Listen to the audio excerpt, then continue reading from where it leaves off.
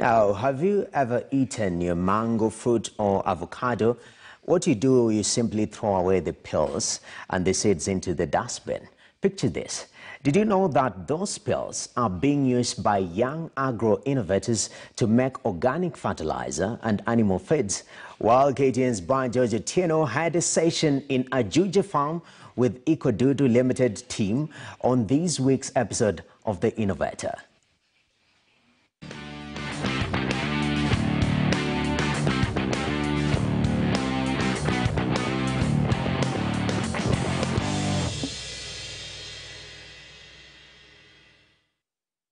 Organic farming has been poised to be the best solution to manage agricultural growth in Kenya.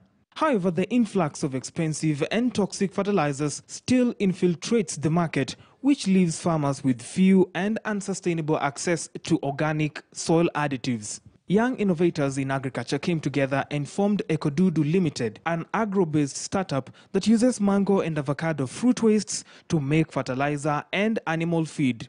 The inspiration behind it is uh, the issue. I used to work in the animal feed sector and I saw firsthand the issue of uh, protein uh, deficiency, especially within the supply chain of the animal feed sector.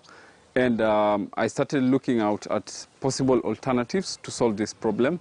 And uh, insect protein actually fitted perfectly into helping solve this problem. This heap here is a collection of mango and avocado wastes collected from juice manufacturers, fruit processors, and a few from open air markets.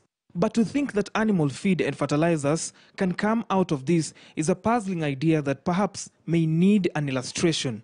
This is a love cage. As you can see, it's covered by a net. Inside the net is where we put the pupae, and the pupae will emerge as insects. The insects have a lifespan of just seven days, after which they morph into the pupa stage.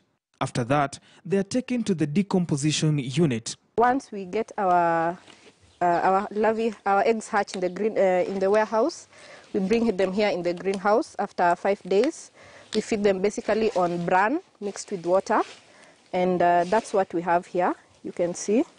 After the sorting and processing, we have twin final products, animal feed and fertilizer, ready for use by both micro and macro agricultural practitioners. This is our final product. It's called uh, Dudu Meal.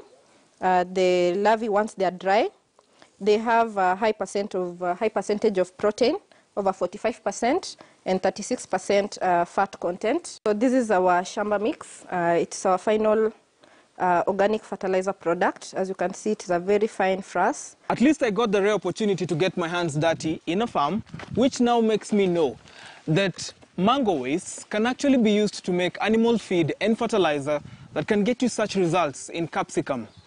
For the innovator this week on KTN News, I'm Brian George. Otieno.